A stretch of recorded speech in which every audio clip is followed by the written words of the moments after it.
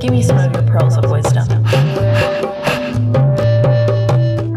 Okay, tell me more BS. Don't be shy, no, be shy, but not uptight. Be smart and choosy who you wanna be influenced by. Be okay.